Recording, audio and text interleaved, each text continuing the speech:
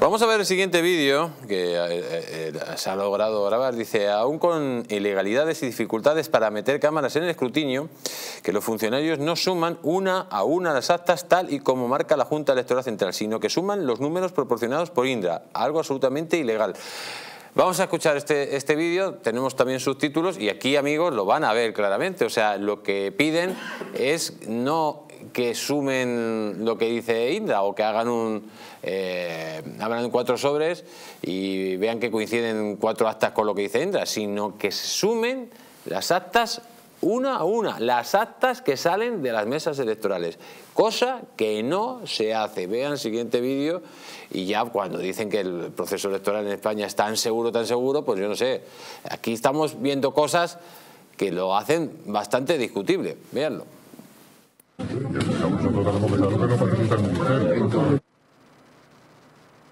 nosotros vamos a sobre, vamos, a ver el acta y vamos a sumar. No, pero no, me ha entendido, no me ha entendido. Me voy a explicar otra vez. Una cosa es sumar el acta que coincida con la de Indra, y otra cosa es el total de todas las el total de todas las lo que yo he visto en el 19, no sé qué tenemos de hoy, lo de hoy no lo Sí, pero el total de todas las actas, os dice la Junta Electoral Central en el comunicado del día 23, que no os tenéis que apoyar en una empresa del Ministerio del Interior. Alguien nos ha llegado algo de que la suma lo hacen, parece ser, una hoja de este ¿Es verdad esto? La suma, la suma pero pues de número se, se ha hecho así, pasando certificado y pasando por la máquina. Entonces la máquina da un resultado que es el que va, el que va cogiendo.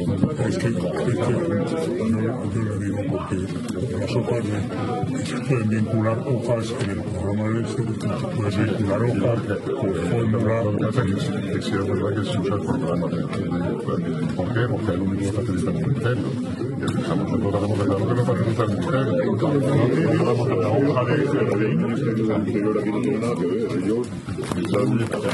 Entonces estamos las mismas. Desde que no se auditaron votos, es que eso haya que terminar. Pero vamos, que no creo que. No creo que haya querido decir nada más que, que lo que se quiere es facilitar. Pero yo creo que ahora mismo todos los medios que empezar a facilitar de todo el mundo. Hasta este mismo si no hubiéramos ido por sistemas técnicos actuales, pues la hubiera llegado. Pero yo creo que el cuento, el cómputo, yo sé que no se puede hacer, les comprendo, pero creo que el cómputo debería hacerse con otro, otro formato de cálculo, no hace falta que sea lápiz, pero sea, que sea independiente del sistema.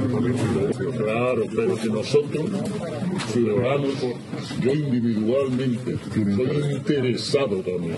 Tiene interés. Tengo bastante interés. Estoy interesado, o sea, no nos vamos a perder ahora en el tema lingüístico. No se falla.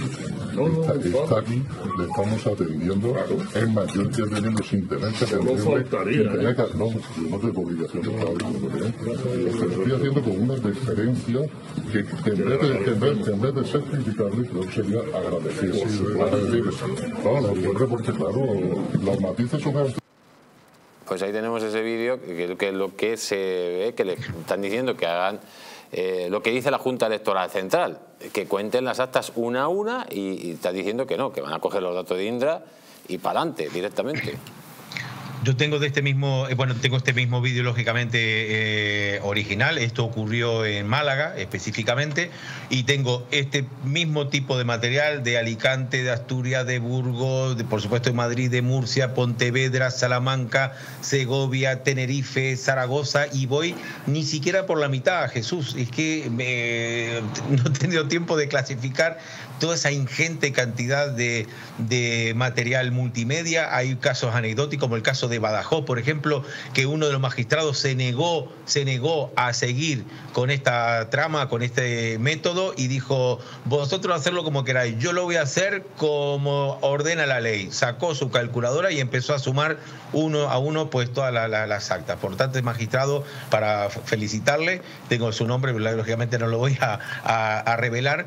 Y bueno, en principio principio muchas conclusiones podemos sacar de estas. Primero, la Junta Electoral Central es un órgano completamente inefectivo.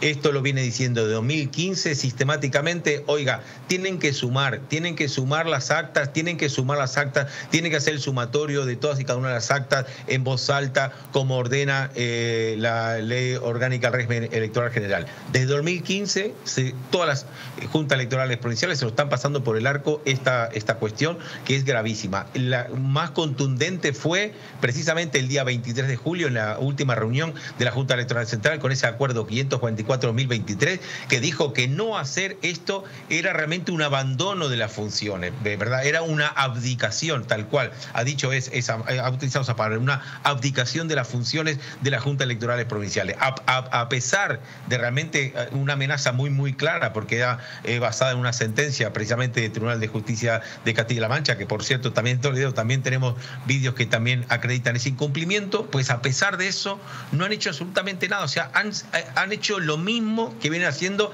por lo menos del año 2000. Es que llevan más de 20 años eh, haciéndolo mal, ¿no? Entonces, eh, aquí hay que replantearse realmente este sistema. Hay que hacer un reseteo específico del tema electoral, hay que realmente hacer que la Junta Electoral Central, si no funciona, pues buscar a otros miembros, es decir, que... Pero, don Gabriel, aquí la pregunta es la siguiente, o sea, mm. eh, hay vídeos, y esto está hablando de muchos vídeos, donde eh, abiertamente las juntas electorales provinciales no están cumpliendo lo que dice la Junta Electoral Central y no están cumpliendo lo que dice la ley. Por lo tanto, esto es un delito. No, no, por supuestísimo, sí, Pero, ¿qué pasa? Que, que, que, este delito, si lo tienen que denunciar, digamos, los apoderados de los partidos políticos. Si no, no... Pero lo ha denunciado un apoderado de Vox y no se lo han metido a trámite la Junta Electoral Provincial. Pero claro, si hay denuncias directamente ya ante la policía precisamente por esto, ¿esto sería motivo de, repetición o de, repetir el, el escrutinio o repetición electoral? Debería hacerlo, debería ser no solamente repetición del escrutinio, directamente yo vengo hablando de que hay que declarar nulas estas elecciones y hacer una repetición electoral, porque realmente se ha malogrado la secretitud del voto. Hay funcionarios que han accedido al voto, han podido identificar a las personas y han visto qué es lo que ha votado antes de meterlo en la urna. con el caso del voto cera, esto se ha eh, vulnerado gravemente el principio del sufragio universal. Y ayer lo decía el otro principio del sufragio universal, que es el acceso al voto miles y miles y miles de españoles se han quedado sin poder votar queriendo hacerlo. Se han, eh, solicitado el voto por correo, no les ha llegado a tiempo, la papeleta, digamos la documentación no les ha llegado. En los consulados yo tengo cientos y cientos de casos que no han podido votar porque no les ha llegado del consulado la, correspondiente eh, documentación. Por tanto, tenemos ese doble, esa doble vulneración en el sufragio universal. Esto ya, aparte de todos los acuerdos que haga, que es un politiqueo que a mí me, da lo mismo, no, no me interesa en absoluto ese tema. Solamente por esta doble vulneración deben repetirse las elecciones en España. Deben repetirse porque ya hay precedentes muy claros. Ayer hablaba del caso de Austria, por ejemplo, un país de la Unión Europea que eh, tuvo que volver a, a, celebrar las elecciones, en el caso en el estado de Estiria, precisamente por, por vamos, por, por el 10% de lo que ha ocurrido en, en estas elecciones únicamente había unos ciudadanos que no le había llegado la documentación para votar por correo y solamente por esa circunstancia, con que un ciudadano quiera votar y no haya podido hacerlo, ese ciudadano ya es suficiente para ah, eh, hacer el, repetir estas elecciones. Así que esto lo vengo diciendo hace muchísimo y, estoy seguro que, que tiene que hacerse, tiene que repetirse las elecciones en España.